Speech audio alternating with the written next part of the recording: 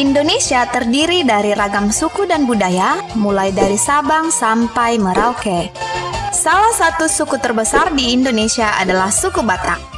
Suku Batak dikenal dengan orang yang pekerja keras, disiplin, dan tegas. Namun, tahukah kalian, masih banyak orang yang salah kaprah tentang suku Batak yang kerap diasumsikan dengan negatif. Dan asumsi negatif itu berkembang luas di masyarakat, sehingga tak sedikit orang yang salah persepsi dengan orang Batak. Apa saja anggapan orang tentang orang Batak yang kerap salah persepsi? Berikut 5 asumsi orang tentang orang Batak yang kerap salah persepsi atau salah kaprah. 1. Katanya kalau orang Batak ngobrol kayak orang lagi bertengkar. Orang Batak terkenal dengan suaranya yang besar, lantang, dan keras. Karena suaranya sangat besar, banyak orang yang bilang kalau orang Batak sedang ngobrol malah seperti lagi berantem. Yang sebenarnya bukan begitu. Konon katanya pada zaman dahulu, orang Batak di kampung banyak yang tinggal di daerah pegunungan di mana jarak rumah yang satu dengan yang lain saling berjauhan. Jadi, kalau ingin berkomunikasi, mereka harus berteriak dengan lantang agar terdengar. Sebab itu, suara orang Batak sangat keras dan besar. Nah, efek teriak-teriak tadi yang sepertinya terbawa sampai sekarang. 2. Katanya orang Batak itu sikapnya kasar dan galak. Tidak sedikit juga yang beranggapan kalau kebanyakan orang Batak itu sikapnya kasar. Sebenarnya nggak seperti itu ya.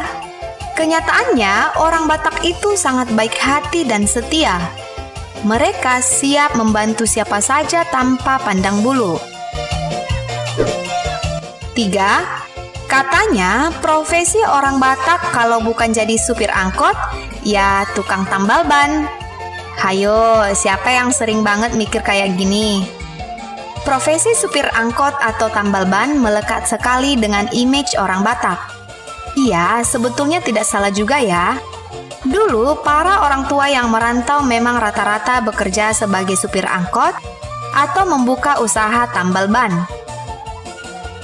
Faktor biaya sekolah yang sangat mahal membuat mereka harus siap bekerja banting tulang untuk mengerjakan pekerjaan apa saja yang halal untuk memperjuangkan keluarganya.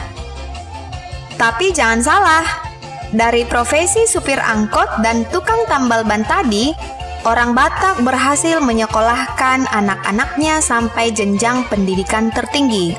Kebanyakan anak-anak orang Batak sangat sukses loh. Ada yang menjadi pengacara, politikus, ataupun pengusaha. Jadi, jangan ragukan semangat dan kerja keras orang Batak ya. 4. Ada juga yang bilang kalau orang Batak lebih suka bergaul sama orang Batak saja. Kalau dengan suku lain nggak mau berteman. Padahal kenyataannya nggak seperti itu ya. Orang Batak memang sangat menjunjung tinggi adat dan istiadat yang diwariskan oleh nenek moyang mereka.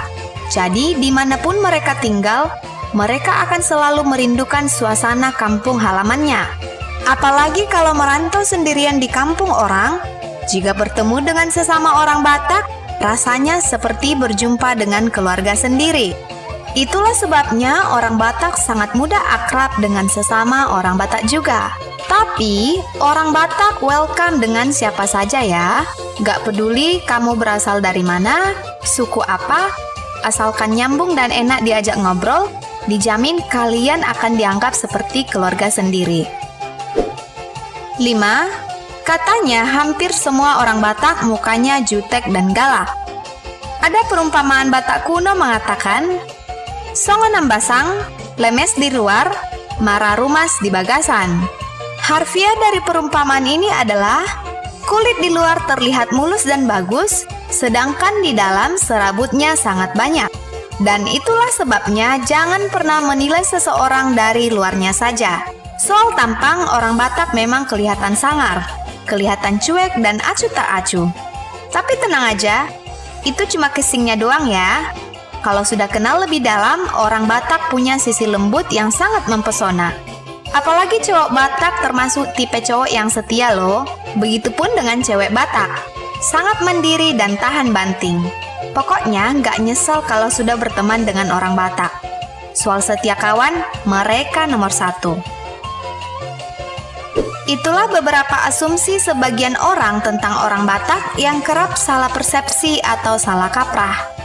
Kira-kira masih ada lagi nggak nih menurut kalian anggapan orang tentang orang Batak yang belum kami sebutkan? Kalau ada, boleh tulis di kolom komentar ya. Terima kasih telah menonton video ini dan tetaplah berbuat yang terbaik. Sampai jumpa di video berikutnya ya. Salam perhorasan dari kami anak pakat.